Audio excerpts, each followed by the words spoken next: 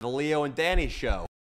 Uh, for me, because I'm a thespian, nobody else really understands. I guess like being in acting class and being immersed in that. So I guess really the top, like the most amazing thing you do as an actor is be on stage on Broadway. Uh, what was that like? And were there groupies? Well, I mean, you know what I mean.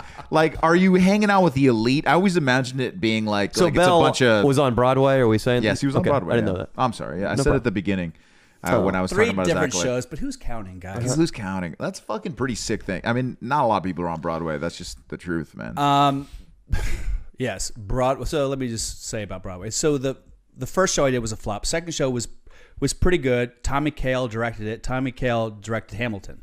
Nice, dude. He's like the smartest person. Like he's one of those guys. Hamilton's if one of the biggest theatrical productions of all time. You've heard of it, right? You guys filled me in on it. I had no Yeah. idea what You it didn't was. know? Well. He- they started playing for it for me one day. I was like, "What? These are black people? they that they ran Yeah. the government in the 1700s?"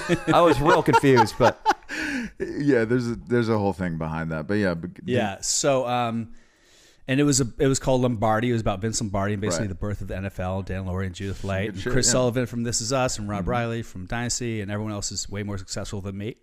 anyway, um, so it was it was like a hit because it was the same year the Packers won the Super Bowl and the Packers would all come. We performed on Lambeau Field, uh, scenes from the play.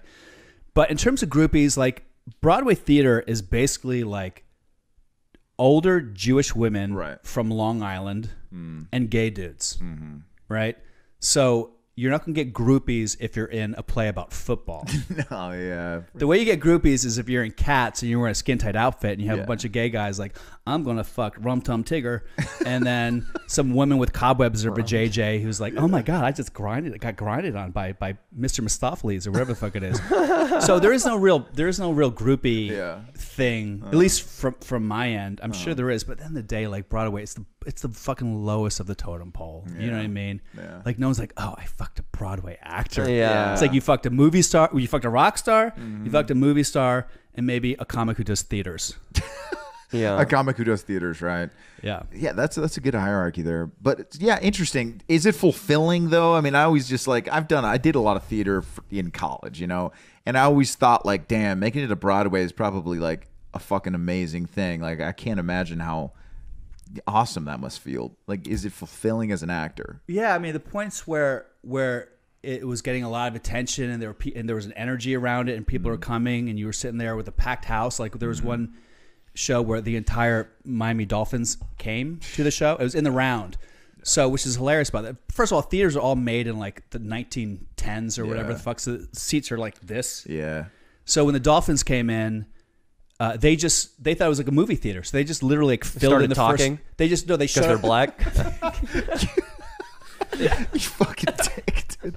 It's a multiracial team. so they, they basically filled in. The, Sorry, excluding the kicker. Excluded the kicker. that's my joke. So they filled. They basically filled in the first two or three rows. Yeah. They didn't look at their. There wasn't a seat number. They They was like, "Oh, let's in. go," and they just sat down. And all these like, That's "Oh, funny. Excuse me, that and eh, never mind. Oh and so my like the God. first two rows were all the Miami Dolphins who were not supposed to be sitting there, That's but all so the like funny. Nerdy theater people were like, okay.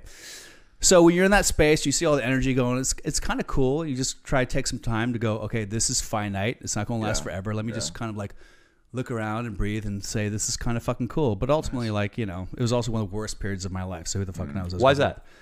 uh, I was going through like a terrible breakup with a woman I thought was going to marry, and Mm-hmm. so there were probably about two months of that where I literally was on autopilot, where I was just like Mm-hmm. bah, bah, bah, saying my lines. I had no idea where the fuck I was. Yeah. Sucks. Yeah. Where you couldn't even enjoy it that Yeah. very time. Do you, right now, would you much rather book, say, a co starring role on a sitcom or on a drama versus have success on Broadway? Because I was thinking, we were talking about the hierarchy of pussy, and I think there's a hierarchy of roles where the input and the output are at the optimum ratio where you can do this relatively easily and get a lot of money and recognition for it.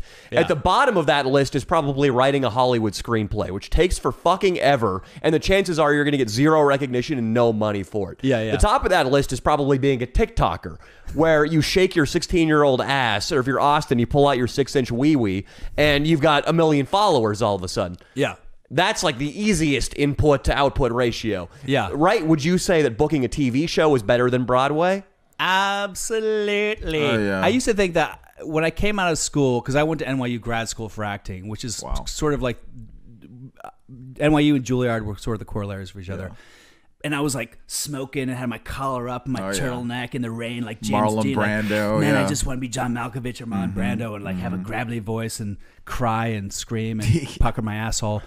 and then, and that works for a while. And you feel good, like being the guy with the Manhattan backpack walking around to your unpaid theater gig. Yeah, and you can always blame your failure on your artistic ideals. Oh, and artistic integrity is a great Yeah. excuse for failing. Yeah. So, um, so yeah, so that was cool for a while, and then you get older, you're just like, you see all these people, quote unquote, selling out. Mm-hmm. Like people go to LA and they're on shitty sitcoms, or they become like hosts of some TV talk show. You're like, that guy was an actor, that guy was a serious comic, and now he's on a talk show, and now you're like, oh, I get it. Yeah. Yeah, why the fuck wouldn't you? Yeah, I'll do a game show. I'll do supermarket sweeps. I don't give a shit. Yeah. Right. You know, because ultimately having money gives you access and power to do whatever the fuck it is you want to do. You know? And you, I mean, there's a lot of things that I that over the years I've come to know about you. But you know, a lot of the comedians in LA say that you're one of the best comedians not to have a Netflix special. Why do you think that is?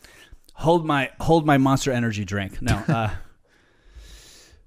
well what i mean whatever i don't want to make excuses part part of it is like obviously i'm not good enough and number two is that um i never i was always a serious actor that was always my first thing You, you, do. know You've been in so many, so many. You have so many so credits. Yeah.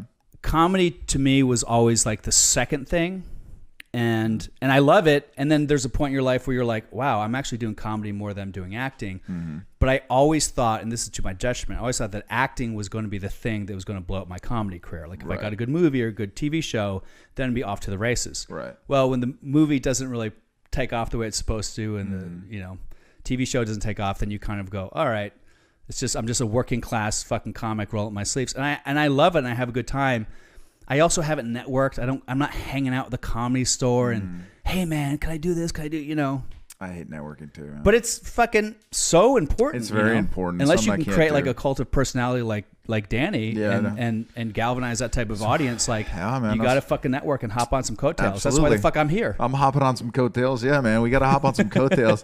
no, seriously, I have no doubt that if we put on all just a comedy show, right, with the people in this room, including Austin and his brother, we would sell. We would we would sell a thousand tickets. I'm not even fucking around. Wait, can I- You don't think we could sell?